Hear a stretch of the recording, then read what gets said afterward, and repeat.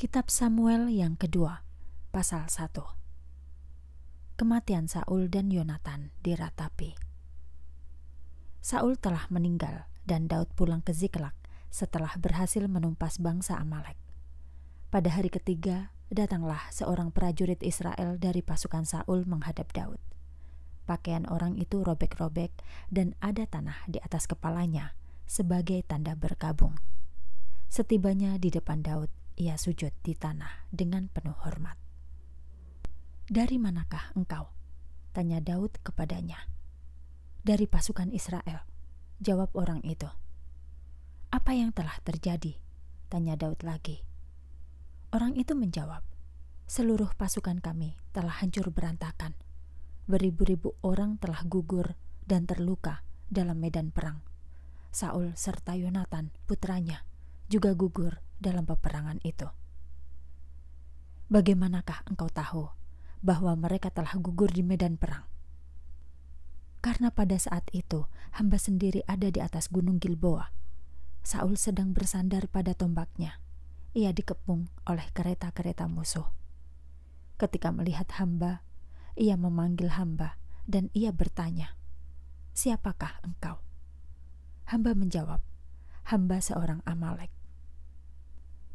Lalu ia memohon dengan sangat demikian, Kemarilah dan bunuhlah aku, karena keadaanku sudah parah. Aku sangat kesakitan, tetapi aku masih hidup. Maka hamba membunuh dia, karena hamba tahu bahwa ia tidak mungkin hidup lebih lama lagi.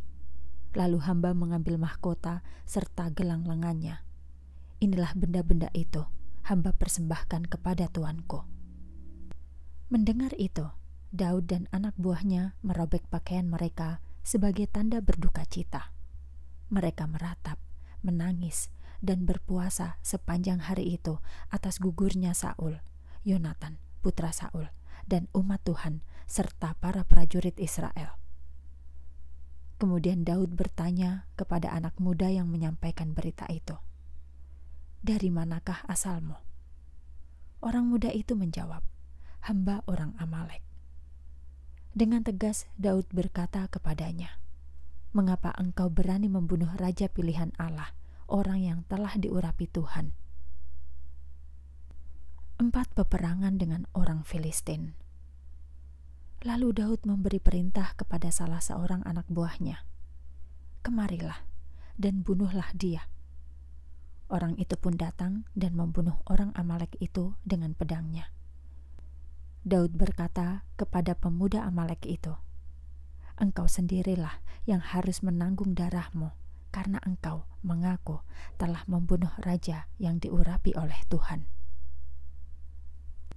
Kemudian Daud mengarang nyanyian ratapan untuk Saul dan Yonatan.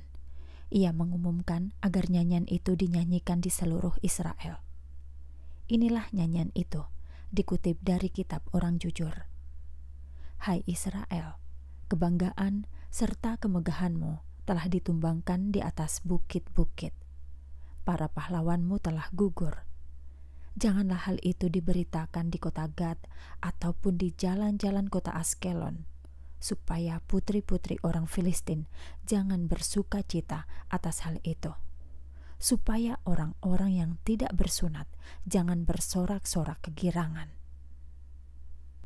Hai Gunung Gilboa, janganlah ada embun ataupun hujan turun ke atasmu lagi. Janganlah ada tanaman yang tumbuh pada lereng-lerengmu, karena di situlah Saul yang perkasa itu gugur. Raja yang diurapi oleh Tuhan sekarang telah tiada perisainya tidak diminyaki, melainkan dilumuri dengan darah. Saul maupun Yonatan telah berhasil membunuh musuh-musuh mereka yang paling perkasa sekalipun. Mereka tidak pernah pulang dari medan perang dengan tangan kosong. Mereka sangat dikasihi orang banyak. Sungguh hebat mereka itu. Ya, Saul dan Yonatan, keduanya mereka selalu bersama pada waktu hidup maupun pada waktu gugur. Mereka lebih gesit daripada burung raja wali dan lebih kuat daripada singa. Tetapi sekarang, hai putri-putri Israel, ratapilah Saul. Ia telah memperkaya kalian dengan pakaian yang indah-indah dan perhiasan emas. Para pahlawanmu yang perkasa itu telah gugur di tengah-tengah medan perang.